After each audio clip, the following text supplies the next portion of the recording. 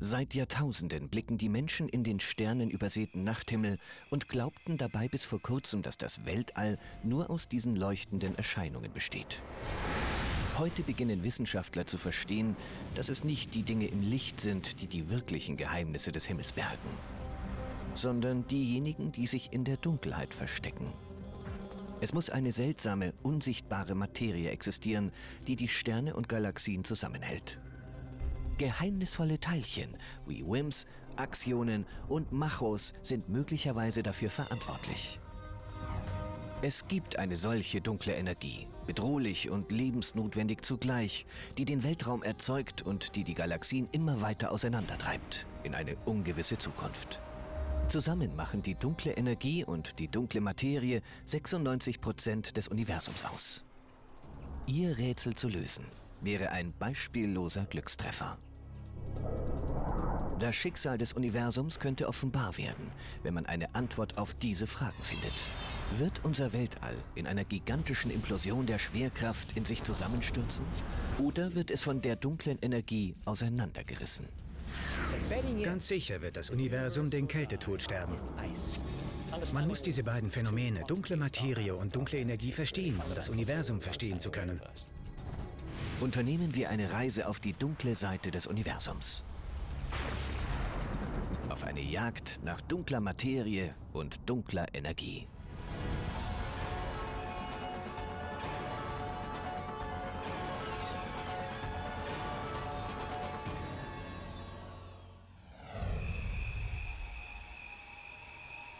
Nie zuvor haben sich Wissenschaftler mit etwas beschäftigt, das mit dunkler Materie vergleichbar wäre. In jeder Sekunde durchdringen Milliarden dieser merkwürdigen Teilchen alles, worauf sie stoßen.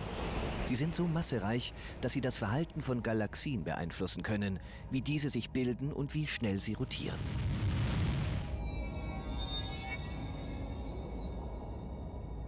Die unsichtbare dunkle Materie ist allgegenwärtig. Wenigstens scheint es so. Bisher konnte noch kein direkter wissenschaftlicher Beweis für ihre Existenz erbracht werden. Es gibt viele Verdachtsmomente, aber keine endgültigen Antworten. Es ist nicht leicht, etwas zu beobachten, was man nicht sieht.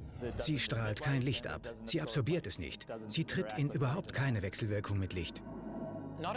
Sie strahlt nicht und auch im Dunkeln wird sie nicht sichtbar.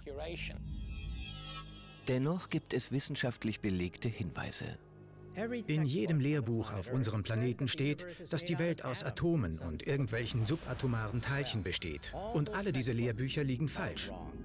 Um das zu beweisen, geht man in den Untergrund. Wenn Sie von Dingen wie dunkler Materie hören, sagen viele, so ein Humbug, zeigt mir die Beweise dafür, dass sie existiert. Sudan im Bundesstaat Minnesota, weit weg von den Lichtern der Großstadt. Genau der richtige Ort, um nach dunkler Materie zu suchen. Aber nicht aus den offensichtlichen Gründen. Sie glauben wahrscheinlich, dass wir den Himmel absuchen, um dunkle Materie zu finden. Stattdessen setzen wir aber unsere Helme auf und fahren runter in diese Mine. Über 700 Meter unter Tage befindet sich das staatliche Labor von Sudan. Das stillgelegte Eisenbergwerk wurde zu einer Forschungseinrichtung umgebaut und ist Teil eines globalen Netzwerkes von Laboratorien. Die sensiblen Experimente sind unter der Erde vor kosmischer Strahlung geschützt und deshalb effizienter. Der ganze Aufwand wird betrieben, um die Existenz der dunklen Materie nachzuweisen. Ihre Partikel können nur indirekt beobachtet, aber niemals eingefangen werden. Wir sind ihnen seit einem Jahrzehnt auf der Spur. Gesehen haben wir bisher noch kein einziges dunkles Teilchen. Die Jagd nach der dunklen Materie hat vor beinahe 100 Jahren begonnen. Der Astronomie standen damals endlich die Geräte zur Verfügung, die einen tieferen Blick in den Nachthimmel gewährten. Erst in den 1920er Jahren war die Technologie weit genug entwickelt, um so etwas wie unscharfe Flecken durch das Teleskop zu erkennen, sie zu entschlüsseln und herauszufinden, um was es sich handelt. Dann schockierte Edwin Hubble die Welt, als er erklärte, das Weltall sei viel größer als unsere Milchstraße. Man erkannte, dass es sich bei einigen von diesen unscharfen Flecken um ganze Galaxien handeln musste.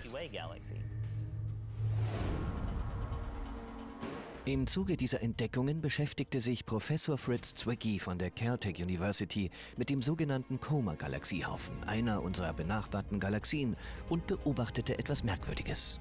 Als er die Bewegungen der Galaxien im Komahaufen gemessen hatte, gewann er eine Einschätzung von der summierten Masse der Galaxien. Das verglich er mit dem Wert der Masse, die tatsächlich sichtbar war. Etwas passte nicht zusammen. Innerhalb des Haufens bewegten sich die Galaxien zu schnell.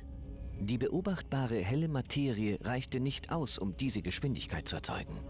Nach seinen Berechnungen hätte ungefähr 160 Mal so viel sichtbare Masse vorhanden sein müssen. Irgendetwas beeinflusste die Bewegung der Galaxien. Aber was war das? Er analysierte die Bewegungen und zog den Schluss, dass der Galaxienhaufen nicht stabil sein konnte, wenn nicht eine große Menge unsichtbarer Materie vorhanden ist. Er nannte sie fehlende Materie. Dunkle Materie. Eine unsichtbare Substanz, die andere Materie anzieht und in der Lage ist, die Geschwindigkeit von ganzen Galaxien zu beeinflussen. Das war ein revolutionärer Gedanke. Allerdings wurde diese Entdeckung kaum zur Kenntnis genommen. Man nahm diese Entdeckung ernst, doch man fand keine Erklärung, denn die Erforschung des Weltraumes hatte gerade erst begonnen. Erst in den 1920er Jahren wurde klar, dass es außer unserer Galaxie noch weitere gab. Man konnte noch nicht wissen, ob es sich um Galaxien, Gaswolken, Staubwolken oder Sterne handelte. Zwickys Berechnungen basierten auf den Massewerten der Sterne in den jeweiligen Galaxien. Aber wie wiegt man eigentlich einen Himmelskörper im Weltall? Man legt die Sonne nicht auf eine Waage. Doch man kann sehr wohl die Geschwindigkeit messen, mit der die Planeten um die Sonne kreisen. Je massereicher die Sonnen sind, desto schneller müssen die Planeten rotieren, um auf ihren Umlaufbahnen zu bleiben. Sowohl Newton als auch Einstein sagten, dass die Anziehungskraft eines Körpers umso größer ist, je mehr Masse er besitzt. Also sollte sich ein Körper immer langsamer auf seiner Bahn bewegen, je weiter er vom Zentrum der Gravitation entfernt ist. Einfach weil die Gravitation mit der Entfernung abnimmt. Nach Einsteins allgemeiner Relativitätstheorie, aber auch schon nach dem Newtonschen Gravitationsgesetz, ziehen sich Galaxien gegenseitig an. Auf dieselbe Weise wirkt die Sonne auf unser Sonnensystem. Die Gravitation wirkt stärker auf Merkur als auf Neptun, weil Merkur näher um die Sonne kreist. Also sollte man annehmen, dass etwas mit zunehmender Entfernung vom Zentrum der Galaxie langsamer rotieren muss. Und genau das konnte Zwicky nicht beobachten. Genauso wenig wie die junge Wissenschaftlerin Vera Rubin 50 Jahre später. Sie untersuchte die Rotationsbewegungen von Galaxien, die unserer Milchstraße ähneln. Und auch ihre Forschung führte zu merkwürdigen Ergebnissen. Vera Rubin stellte aber fest, dass die Umlaufgeschwindigkeit mit wachsender Entfernung zum Zentrum konstant blieb.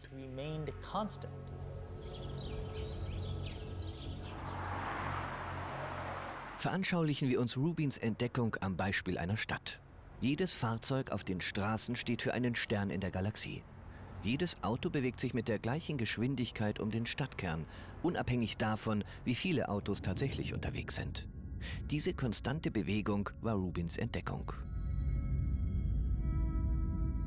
Die äußeren Bereiche der Galaxie rotierten schnell, sodass da viel mehr Masse hätte sein müssen, sonst wäre sie auseinandergeflogen. Man konnte dieses Paradox von Galaxien, die bis zu zehnmal schneller rotieren, als sie sollten, nur lösen, wenn man eine Art Lichtschleier annimmt. Einen unsichtbaren Schleier aus dunkler Materie, der sich um die Galaxie legt und sie zusammenhält. In den Galaxien existierte also dunkle Materie. Und sie war massereich genug, um die Rotationsgeschwindigkeit konstant zu halten. Stellen Sie sich vor, ich sei die dunkle Materie und dieser Ball sei ein Stern, der um mich herumkreist, weil meine Gravitationskräfte ihn auf seiner Bahn halten. Auch wenn Sie mich nicht sehen könnten, müsste da etwas sein, das mit einer bestimmten Anziehung auf ihn einwirkt. Denn sonst würde der Stern in einer geraden Linie wegfliegen. Es muss also dunkle Materie geben. Vera Rubin sagte voraus, dass es zehnmal mehr dunkle Materie geben müsste als leuchtende oder normale Materie. Seitdem haben wir hunderte von Galaxien erforscht und alle zeigen dasselbe Muster. Sie rotieren zu schnell. Sie alle brauchen dunkle Materie, die sie zusammenhält. Jetzt wurde die Wissenschaft aufmerksam und begann sich zu fragen, Was ist dunkle Materie? Wie kann man etwas finden, was im Weltraum unsichtbar ist? Man musste klären, wo sich die dunkle Materie draußen im All versteckt hält. Obwohl die Wissenschaftler sie nicht sehen konnten, stellten sie fest, wie sich die dunkle Materie verrät. Das Licht verändert seine Bahn, wenn es durch sie hindurch scheint. Dieses Phänomen wird als Gravitationslinseneffekt bezeichnet und es handelt sich um ein virtuelles Schlaglicht, das die Geheimnisse des Universums lüftet. Wie jede andere Materie kann auch sie die Bahn eines Lichtstrahls brechen. Ein Lichtstrahl wird auf seinem Weg von dunkler Materie abgelenkt. Mit der sogenannten Gravitationslinse konnte man den gebogenen Pfad von Lichtstrahlen verfolgen und herausfinden, dass sich die dunkle Materie im Lichtschleier der Galaxien konzentrierte. Die Methode der Gravitationslinse erwies sich als zuverlässig und plötzlich konnte man dunkle Materie nachweisen. Diese Technik der Gravitationslinse ist äußerst präzise. Wir können nicht nur bestimmen, wie viel dunkle Materie vorhanden ist, sondern auch, wie sie am Himmel verteilt ist. Das können wir, weil wir die Ablenkung der Lichtstrahlen, die durch sie hindurchgehen, messen können. Woher wissen Sie, dass Ihre Brille existiert? Doch nur, weil sie Lichtstrahlen beugt. So konnten wir durch Analysen von Bildern, die das Hubble-Teleskop lieferte, die Wege des Lichts verfolgen und richtige Landkarten von dunkler Materie erstellen. Der größte Teil der Masse des Universums stammt von der dunklen Materie. Die herkömmliche Materie sammelt sich in ihrem Gravitationsfeld. Als die dunkle Materie nun die Szene betrat, fragten sich die Wissenschaftler, ob es sich um eine neue Kategorie von Materieteilchen handelte. Oder war es normale Materie, die einfach unsichtbar ist? Als die dunkle Materie gefunden wurde, wollten alle wissen, was das ist. Die erste Antwort war, das ist der Stoff, aus dem wir alle sind. Er gibt nur kein Licht ab. Forscher untersuchten nun Objekte im Weltall, die kein Licht abstrahlten. Schwarze Löcher kamen in Betracht. Sie geben kein Licht ab, ziehen Materie durch ihre Schwerkraft an und können von der Gravitationslinse erfasst werden. Schwarze Löcher, auch bekannt als Machos. Massive, kompakte Halo-Objekte. Das sind im Prinzip kleine dunkle Sterne, die wenig Licht abstrahlen.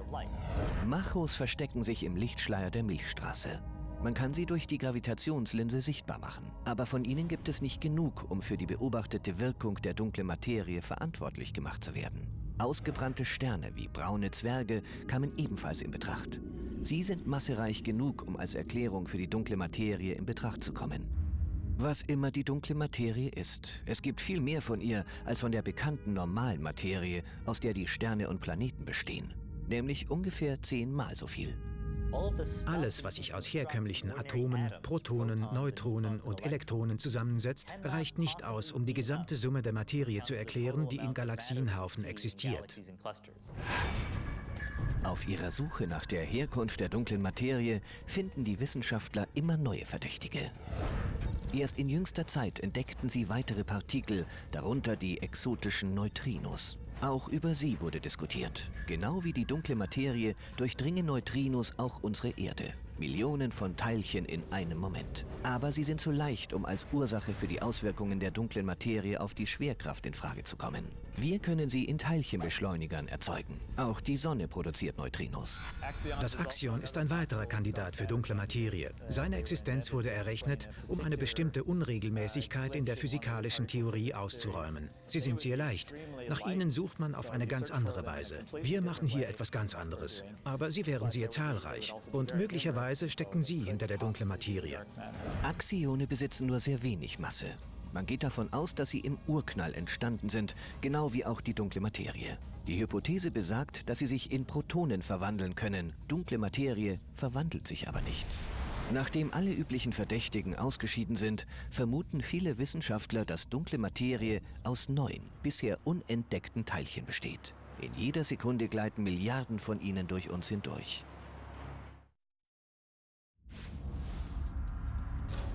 Bis zur Entdeckung der dunklen Materie sind die Forscher davon ausgegangen, dass die Materie nur aus Protonen, Neutronen und Elektronen aufgebaut ist. So wie alles, was wir hier auf der Erde finden. Wir hatten die Masse berechnet, doch da war noch etwas Unentdecktes. Ein Kandidat für den Baustein der dunklen Materie muss bestimmte Eigenschaften aufweisen. Und keiner der üblichen Verdächtigen kam dafür in Frage. Dunkle Materie ist eine schwerfällige Substanz. Sie bewegt sich langsam und wir können sie nicht sehen. Die Teilchen der dunklen Materie bewegen sich nicht mit Lichtgeschwindigkeit und sie gehen keinerlei Wechselwirkungen ein. Das macht es so schwierig, sie aufzuspüren. Sie beeinflusst andere Materie nur durch ihre Schwerkraft. Wenn ich dunkle Materie hier in meiner Hand hätte, sie hätte ein Gewicht, aber sie würde direkt durch meine Finger gleiten. Innerhalb des bekannten Teilchenspektrums gibt es keinen einzigen Kandidaten für kalte dunkle Materie. So wie ein Unsichtbarer, der durch Wände gehen kann, gleiten in jeder Sekunde Abermillionen Teilchen der dunklen Materie durch uns hindurch. Hierbei stoßen sie nie mit herkömmlicher Materie zusammen. Die plausibelste Erklärung, woraus dunkle Materie bestehen könnte, nennt sich WIMP. WIMPs sind massereiche Partikel mit schwacher Wechselwirkung. Sie konnten noch nicht beobachtet werden, doch ihre vermuteten Eigenschaften kommen der dunklen Materie ziemlich nahe. In den Laboratorien in Sudan ist das Forschungsteam unter Tage, wo sie Tausende von Fledermäusen aufscheuchen, um ein WIMP-Teilchen einzufangen. Das Projekt heißt Kryogene Suche nach dunkler Materie. Das englische Akronym heißt CDMS. Das hier war bis 1962 eine Eisenerzmine. Sie führt etwa 800 Meter in die Tiefe. Das Labor hat eine Maschine entwickelt, mit der bei Temperaturen weit unter dem Gefrierpunkt ein Teilchen der dunklen Materie aufgezeichnet werden könnte, wenn es hindurchgleitet. Die Sensoren bestehen aus Germanium, einem schweren Element mit hoher Atomdichte. Das ist ein Block reinen Germaniums. Auf der Oberfläche hat es winzige Thermometer, die aufzeichnen, wenn ein Teilchen durch diesen Eishockey-Puck aus Germanium hindurchrast. Dunkle Materie gleitet problemlos durch uns hindurch, zum Beispiel genau in diesem Moment. Ganz selten wird ein Teilchen mit einem Atomkern zusammenstoßen. Und diesen Zusammenstoß hoffen wir aufzeichnen zu können. Um einen sauberen Treffer der dunklen Materie zu erhalten, mussten die Wissenschaftler zunächst den Abfall aus dem Weltall herausfiltern. Es gibt unendlich viele Partikel. Das ist wirklich wie die Suche nach der Nadel im Heuhaufen. Im Experiment werden alle Materieteilchen aufgezeichnet, die durch den Detektor gleiten. Je weniger Störmaterie hereinkommt, desto größer ist die Wahrscheinlichkeit, ein Teilchen der dunklen Materie zu erwischen. Weil dunkle Materie fast gar nicht mit Protonen und Elektronen reagiert, haben die Wissenschaftler das Germanium auf Temperaturen weit unter dem Gefrierpunkt abgekühlt. Wenn ein dunkles Materieteilchen auf einen Atomkern des Germaniums trifft, dann ändert sich die Temperatur um ein winziges Stück. Und genau danach suchen wir in dem Kristall, um zu sehen, ob ein Teilchen der dunklen Materie vorbeigekommen ist. In dem Schutzraum befindet sich die Kammer mit 16 Germanium-Einheiten. Ich habe mich umgezogen, um den Versuchsraum zu betreten. Da drin ist es 10.000 Mal sauberer als hier. Es ist wichtig, dass wir keinen Staub hineintragen, deshalb habe ich mir das angezogen. Also gehen wir rein. Hier haben wir die Szintillationszähler, die alle Teilchen aus der kosmischen Strahlung abfangen, die bis hierher durchdringen. Das hier ist das Kühlaggregat, das die notwendigen Temperaturen für unser Experiment erzeugt, knapp über dem absoluten Nullpunkt. Und hier drin befinden sich die Germanium-Silizium-Detektoren, die auf den WIMP-Partikel warten. Bis irgendwann einmal ein solches Teilchen der dunklen Materie da drinnen herunterkommt und auf die Germanium- und Siliziumkristalle trifft. Die Forscher fahren jetzt seit fast zwei Jahren in die Mine, um dunkle Materie einzufangen. Das ist viel schwieriger, als es auf den ersten Blick aussieht. Obwohl in jeder Sekunde Milliarden von den Teilchen hindurchgleiten, steht die Chance 1 zu einer Million, dass die dunkle Materie mit der normalen Materie reagiert. Die Chance, dass ein dunkles Materieteilchen ein Germaniumatom trifft, ist ungefähr so groß wie die Chance, dass ein Bogenschütze ins Schwarze trifft, wenn die Zielscheibe über eineinhalb Kilometer weit entfernt ist. Diese grünen Blinklichter zeigen alle Materieteilchen an, die die Germanium-Silizium-Detektoren passieren. Wahrscheinlich alles Teilchen aus der Hintergrundstrahlung. Aber vielleicht gibt es da auch irgendwo ein WIMP. Das wissen wir erst, wenn wir die Daten ausgewertet haben. Die Jagd nach den dunklen Teilchen kann sehr nervtötend werden. Jeden Tag werten die Forscher die Daten aus, schreiben Berichte und perfektionieren ihr Tischtennisspiel, während sie auf den einen Treffer warten, der beweist, dass dunkle Materie existiert. Aber trotz all des Wartens und all der Anstrengungen konnte noch kein einziges dunkles Teilchen entdeckt werden. Weder hier noch in einem anderen Labor. Unglücklicherweise konnten wir bisher keine dieser Teilchen beobachten.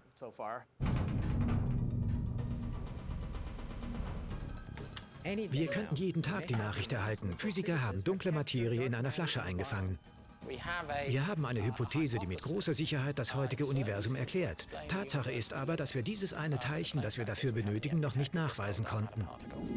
Der Nachweis eines dunklen Materieteilchens wird nicht nur die Existenz der dunklen Materie belegen, sondern könnte auch die anderen großen Fragen des Weltraums beantworten.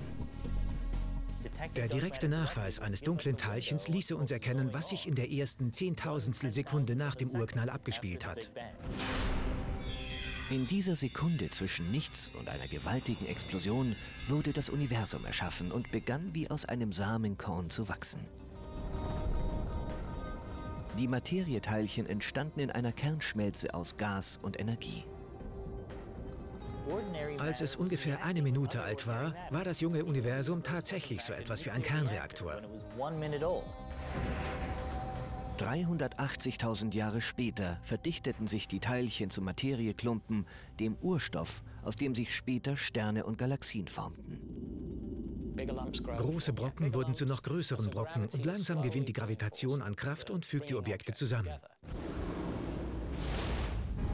Heute wissen die Forscher, dass die dunkle Materie schon im Augenblick des Urknalls entstanden sein muss. Und sie spielte wohl eine entscheidende Rolle bei der Verdichtung der normalen Materie und bei der Entstehung der Sterne und Planeten.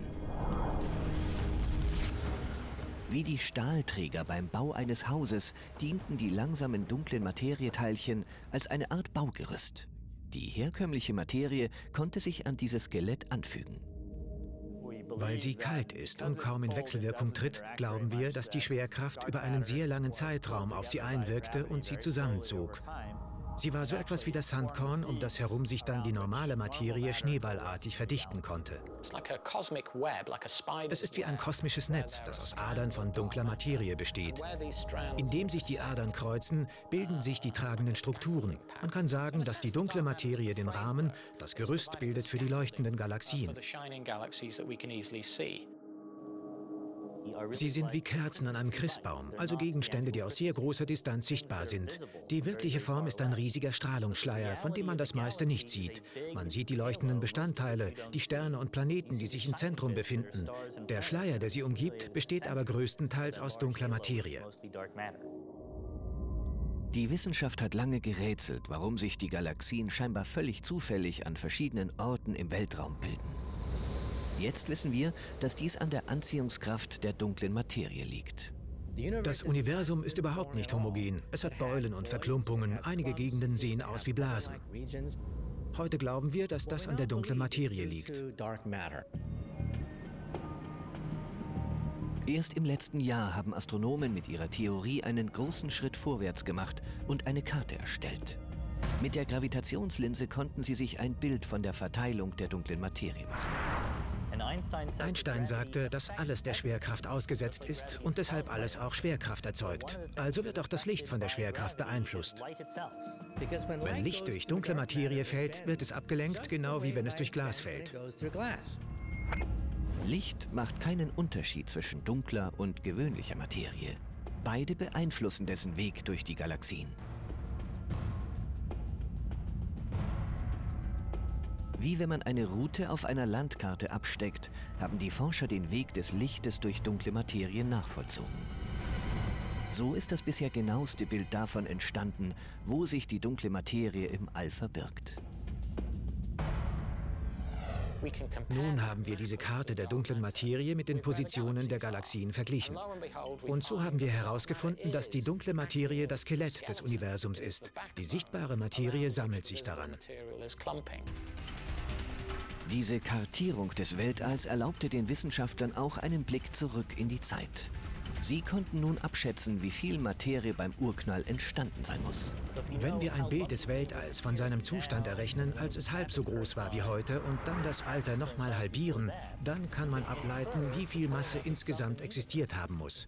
So können wir herausfinden, wie viel dunkle Materie insgesamt existiert.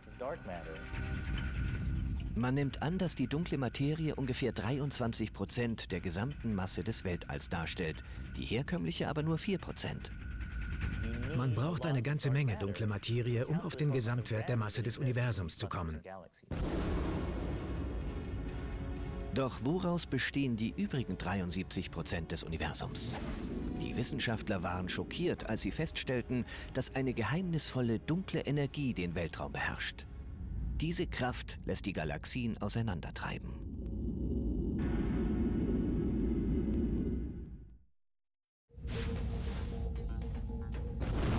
Man hatte immer angenommen, dass das Universum sich zwar immer noch ausdehnt, aber auch, dass dieser Prozess sich beständig verlangsamen oder sich irgendwann umkehren würde. Die Schwerkraft würde ihren Schwung verlieren. Aber bei den Untersuchungen der Ausdehnung des Weltraums mussten die Wissenschaftler erschreckt feststellen, dass das Wachstum sich nicht verlangsamt, sondern beschleunigt. Ein düsteres Schicksal zeichnete sich ab. Das Universum wird zerfallen. Es wird so kalt, dass jedes intelligente Leben erfriert. Von dem Moment an, in dem der Urknall das Universum erschuf, hat sich der Raum ausgedehnt und er hat bis heute nicht aufgehört, ganze Galaxien mit auf die Reise zu nehmen. Der Raum zwischen den Galaxien dehnt sich aus, aber die Galaxien selbst dehnen sich nicht aus, die Erde nicht und unser Sonnensystem auch nicht. Edwin Hubble war der Erste, der 1929 entdeckte, dass sich Galaxien von unserer Milchstraße entfernen. Die weiter entfernten Galaxien entfernen sich schneller als die näheren. Er fand heraus, dass man ihre Geschwindigkeit messen konnte, indem er die Wellen des abgestrahlten Lichtes mit Hilfe eines Prismas untersuchte. Diese Messungsmethode der Rotverschiebung wird noch heute angewandt, um Entfernungen im Weltraum zu bestimmen. Er bemerkte, dass am weitesten entfernte Galaxien sich am stärksten von uns wegbewegen. Ihre Rotverschiebung war am größten. Vor einigen Jahren haben Forscher sich dafür entschieden, die Messung der Rotverschiebung zu verwenden, um die Geschichte der Raumausdehnung im Weltall zu untersuchen. Aber wie soll man die komplette Entwicklung des Universums messen? Wie kann man 12 Milliarden Jahre in der Zeit zurückreißen? Wir können in der Zeit nicht direkt zurückgehen, um die Vergangenheit zu beobachten. Es ist mehr so, wie die Geologen Schicht um Schicht des Grand Canyon abtragen, um so auf Geschichte zurückblicken zu können. Wenn man sich immer weiter entfernte Galaxien heute anschaut, dann sieht man sie so, wie sie in der Vergangenheit aussahen. Um die Geschichte der Raumausdehnung zu beschreiben, benutzen die Astronomen das Licht einer Supernova des Typs 1a als Basislicht für ihre Messungen. Basislicht kann zum Beispiel eine 100 Watt Glühbirne sein. Man kann nun eine Gruppe dieser Glühbirnen in einem Zimmer aufstellen, alle in einer unterschiedlichen Entfernung. Die weiter entfernteren erscheinen blasser und die näheren heller. Das Licht einer Supernova vom Typ 1a ist immer gleich hell, unabhängig davon, wo es im Weltall abgestrahlt wird. Eine Supernova ist die große Explosion eines Sternes am Ende seiner Lebensspanne. Zu einer Supernova kommt es, wenn ein sterbender Stern, ein sogenannter weißer Zwerg, nuklear durchbrennt. Er reißt sich buchstäblich selbst in Fetzen. Wir sehen, dass Supernovae in weit entfernten Galaxien sehr blass erscheinen. Wir vergleichen sie mit Supernovae in der Nähe, deren Entfernung wir mit anderen Techniken messen.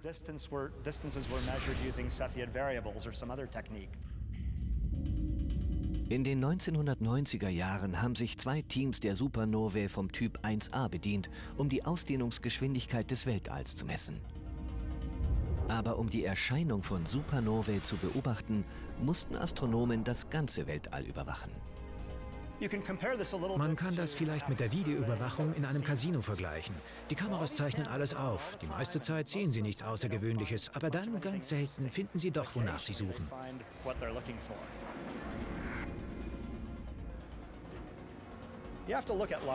Man muss sich dafür eine ganze Menge Galaxien ansehen. Also haben wir große Teleskope genommen, mit Kameras, die ein großes Blickfeld haben, ungefähr so groß wie der Vollmond. Wir machten viele Schnappschüsse des Weltraums mit dieser Weitwinkelkamera. Und jeder Schnappschuss enthält Zehntausende von Galaxien.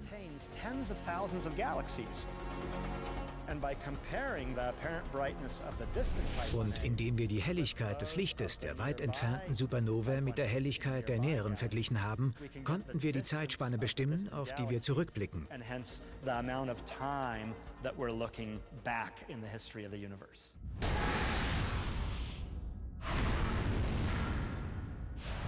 Nachdem die Forscher der beiden Teams das Licht von 60 Supernovae untersucht hatten, waren sie einigermaßen erstaunt. Das Universum verlangsamte sich nicht, sondern seine Ausdehnung beschleunigte sich. Jeder hat damit gerechnet, dass sich die Ausdehnung mit der Zeit verlangsamen müsste, da sich ja alle Galaxien gegenseitig anziehen. Wir waren uns so sicher, dass wir einen Wert messen würden, demzufolge sich das Universum verlangsamt. Und dann fanden wir ein ganz anderes Ergebnis. Der Weltraum wird nicht langsamer, sondern schneller. Das war ein großes Geheimnis. Das ist wirklich sehr merkwürdig. Wir wollten den Quotienten der Verlangsamung messen und stattdessen dehnt es sich schneller und schneller aus. Das war wie das falsche Zeichen. Wir hatten Angst, dass wir eine komplett falsche Rechnung angestellt haben. Wir haben unsere Messungen geprüft, die Analysen wurden von einer ganzen Gruppe von Wissenschaftlern in jedem der beiden Teams wiederholt. Unabhängig voneinander kamen beide immer wieder auf dasselbe Ergebnis. Eines der erschreckendsten Ergebnisse der Kosmologie in den letzten Jahren war die Erkenntnis, dass unser Universum immer mehr Fahrt aufnimmt. Diese Kraft, die das Universum antreibt, nennt man die dunkle Energie. Eine unsichtbare Energie, mit der niemand gerechnet hatte und die niemand verstand. Über die größten Entfernungen im Weltraum hinweg wirkt diese Abstoßungskraft. Sie ist sogar stärker als die Gravitation. Und diese dunkle Energie erzeugt Raum, wobei sie Galaxien auf ihre Reise mitnimmt. Diese Energie, die anscheinend das ganze Universum erfüllt und seine Ausdehnung schneller und schneller vorantreibt, wird heute dunkle Energie genannt.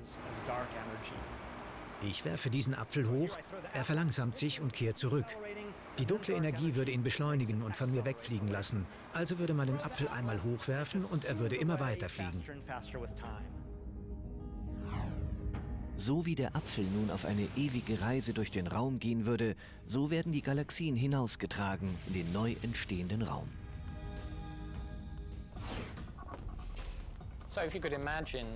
Stellen Sie sich ein Klassenzimmer voller Stühle vor. Wenn das Klassenzimmer sich nun ausdehnt, rücken alle Stühle weiter auseinander. Für jemanden, der auf einem der Stühle sitzt, sieht es nun so aus, als würden sich alle Stühle von ihm wegbewegen. Die Stühle dehnen sich aber nicht aus. Sie behalten alle ihre Größe, nur das Zimmer wird größer. Der Raum zwischen den Stühlen wird auseinandergezogen.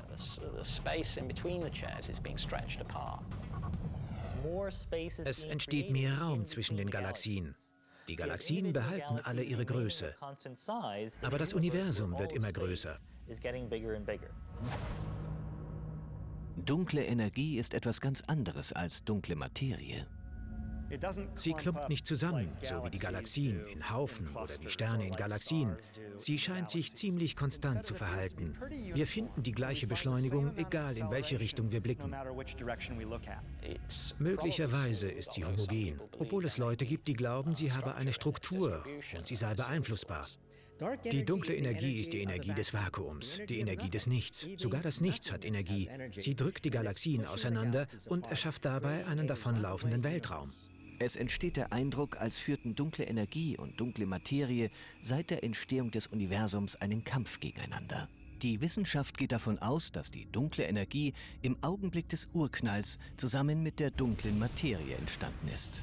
Sie ist immer schon vorhanden gewesen, aber die Anziehungskraft der dunklen Materie hielt sie im Zaum, indem sie in den ersten neun Milliarden Jahren des Weltalls die Ausdehnung des Raums gebremst hat. Vor fünf Billionen Jahren hat sich dies offenbar geändert, als das Universum so groß wurde, dass die dunkle Materie im ganzen Universum verstreut war. Die dunkle Energie wurde von der Anziehungskraft der dunklen Materie nicht mehr gebremst. Deshalb begann sich das Universum immer schneller auszudehnen. Dunkle Energie ist eine Konstante. Als das Universum noch heiß war und eine große Dichte hatte, war diese Energie vielleicht nicht von Bedeutung. Zu diesen Zeiten spielte die dunkle Energie noch gar keine Rolle, obwohl sie schon vorhanden war. Dadurch, dass das All kälter und weniger dicht und größer wurde, verliert die Gravitation an Bedeutung und die dunkle Energie übernimmt. Ganz verstehen wir diese Erscheinung noch nicht. Astronomen haben erkannt, dass mit der fortschreitenden Ausdehnung des Universums die dunkle Energie über die dunkle Materie gesiegt hat. Vor fünf Milliarden Jahren kam die Zeit, in der die dunkle Energie begann, die Materie, die von der Schwerkraft betroffen ist, zu beherrschen. Wenn man also die Kraft und die Zeit in ein Verhältnis zueinander setzt, nimmt die Anziehungskraft ab, während die Abstoßungskräfte zunehmen. Vor ungefähr fünf Milliarden Jahren haben sich die beiden Kurven geschnitten. Das war der Punkt, an dem das Universum seine beschleunigte Ausdehnung begann. Das Verständnis von dunkler Energie ist essentiell, um zu begreifen, wie sich das Universum weiterentwickeln wird. Wird es sich immer weiter ausdehnen? Wird es dunkel und kalt? Oder ist ein Ende in Sicht? Die dunkle Energie treibt die Ausdehnung des Weltraums an. Und es sieht nicht so aus, als würde sie anhalten. Die Abstoßungswirkung der dunklen Energie wuchs. Denn je mehr Raum zwischen den Galaxien ist, desto größer ist der akkumulierende Effekt der dunklen Energie. Eine einzelne Galaxie blickt vielleicht in eine einsame Zukunft. Es sieht alles danach aus, dass dies das Ende von allem ist.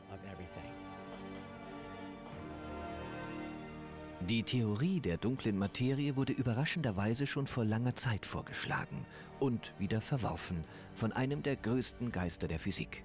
Er nannte sie seine größte Eselei.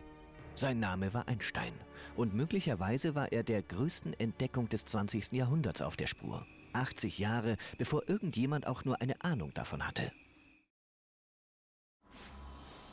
Heute wissen die Wissenschaftler, dass die dunkle Energie einen sich immer weiter ausdehnenden Raum erzeugt.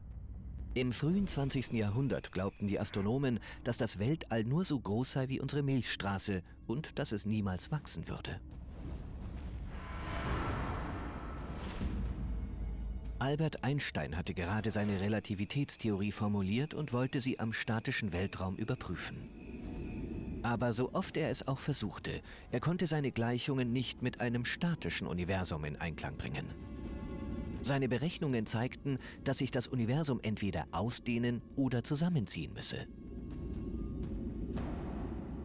Er bemerkte, dass in einem homogenen Universum auch die Materie gleichmäßig verteilt wäre. Seine Theorie besagte, das Universum müsse sich entweder ausdehnen oder schrumpfen. Deshalb schlug Einstein eine Abstoßungsenergie des Vakuums vor, die sich im Universum mit der Anziehungskraft im Balance hielte. Er nannte sie die kosmologische Konstante, eine gleichbleibende Energie, die das Gleichgewicht im Universum herstellt. Er führte die kosmologische Konstante ein, um ein statisches Universum zu erklären. Als Hubble herausfand, dass der Raum sich ausdehnt, schien Einsteins kosmologische Konstante zunächst irrelevant geworden zu sein. Und heute stellt sich heraus, dass die dunkle Energie, die er in den 1920er Jahren verwarf, genau die Kraft ist, die das Universum auseinandertreibt. Einsteins sogenannte Eselei wird vielleicht darüber entscheiden, ob das Weltall entweder im Feuer oder im Eis stirbt. Und ich halte die Wette, dass das Universum im Eis sterben wird. Um herauszufinden, wie sich das Universum verhält, hat Einstein die dunkle Materie vorhergesagt und damit das, was den ganzen Aufbau des Universums ausmacht. Die Gesamtsumme der normalen und der dunklen Materie reicht nicht aus, um die Raumkrümmung, die wir beobachtet haben, zu erklären. Wenn man an den Horizont blickt, erscheint die Erde zunächst flach. Genauso erscheint die Raumkrümmung des Universums gleich Null zu sein, weil das Universum so riesig ist. Herkömmliche Materie, dunkle Materie und dunkle Energie zusammen machen eine Vorhersage der Raumkrümmung erst möglich. Und mit dieser Vorhersage kommen wir der richtigen Antwort erst nahe. Unsere Satellitendaten bestätigen, dass 73 Prozent des Materie-Energieinhalts des Universums aus dunkler Energie besteht. Dunkle Energie, Einsteins einstige Eselei, ist heute als die beherrschende Kraft des Universums bekannt. Das sind große Entdeckungen. Die Forschung beginnt langsam zu verstehen, welche Wirkung die dunkle Energie auf das Schicksal des Universums haben kann. Idealerweise müssten wir messen, wie sich die dunkle Energie mit fortschreitendem Alter des Universums verhält. Wenn die dunkle Energie endgültig über die Materie dominiert, dann erreicht das Universum ein Stadium der exponentiellen Ausdehnung. In jeder gegebenen Zeiteinheit würde es seine Größe verdoppeln. Und wenn die dunkle Energie nicht eines Tages ihre Vorzeichen ändert und wieder zur Anziehungskraft wird, dann wird sich das Universum ständig und immer schneller ausdehnen. Wir verstehen nicht, warum die Vakuumenergie diesen Umfang hat, wenn sie für die Ausdehnung des Universums verantwortlich sein soll. Das ist das schwierigste offene Rätsel der heutigen Physik. In vielen Milliarden Jahren wird der Weltraum ein sehr einsamer Ort sein. Schauen Sie zum Himmel. Der Himmel wird so gut wie dunkel sein. Die Ozeane frieren zu. Es sieht danach aus, als sei das dann das Ende allen intelligenten Lebens. Es scheint also, dass dunkle Energie und die Gesetze der Physik ein Todesurteil sind für jedes Lebewesen im Universum. Mit den Untersuchungen zur dunklen Materie und zur dunklen Energie sind die Wissenschaftler der Formulierung der Weltformel einen Schritt näher gekommen. Einer Gleichung, die alle Funktionen des Weltalls einbezieht und erklärt. Wenn wir die eine große einheitliche Theorie des Ganzen haben, dann haben wir die größten Fragen der Menschheit gelöst, seit wir unsere Augen in den Himmel erheben. Dies könnte die krönende Errungenschaft einer 2000-jährigen Geschichte sein, die begann, als die alten griechischen Philosophen gefragt haben, woraus die Dinge bestehen. Bis jetzt sind dunkle Energie und dunkle Materie noch die größten kosmologischen Fragen des 21. Jahrhunderts. Es ist schon frustrierend. Alles, was wir über die Physik lernen, ist auf die normale Materie beschränkt, weil wir erst zu wenig über dunkle Materie und dunkle Energie wissen. Die Geheimnisse der dunklen Seite des Universums deuten auf ein neues Zeitalter. Teilchenphysik ist der wilde Westen der Wissenschaft. Diese Erscheinung verstehen wir noch nicht ganz.